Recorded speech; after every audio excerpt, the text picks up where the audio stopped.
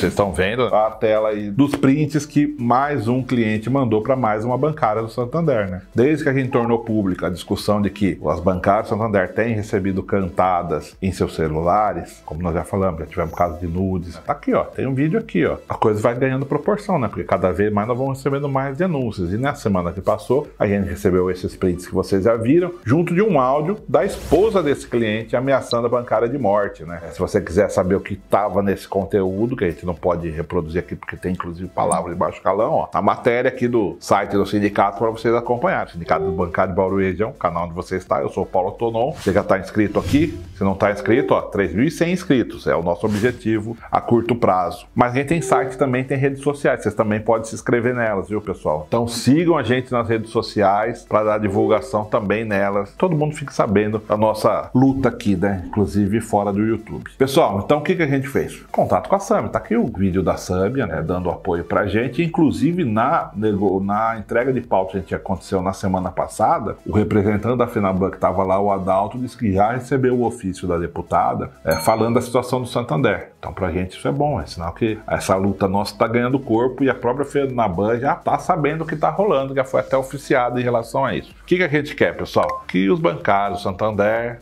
porque nem o gerente geral tem, pasme, um celular corporativo que tem um celular corporativo. Não, não estamos pedindo absurdo, estamos falando de um banco que tem lucro de mais de 10 bilhões do ano e que não dá celular corporativo para seus funcionários. E aí a consequência dele não dar o celular corporativo, qual é? Cantada. Na sexta, no sábado, no domingo, no fora do expediente, à noite, durante o expediente. E as bancárias têm que, sobre, têm que saber lidar com isso, né? Porque dependendo de como lida, se for mais forte, o banco te manda embora. Se você for coisa, a esposa do cliente te ameaça de morte. Então, tudo errado, né, pessoal? Ninguém precisa passar por isso e por isso a gente afirma. Uma das, nós já entramos com ação em relação a isso, né? E uma das bandeiras da nossa campanha salarial em relação ao Santander é esse: celular corporativo para todos os bancários. Sindicato dos Bancários Região está sempre na luta. Vamos compartilhar esse vídeo, pessoal.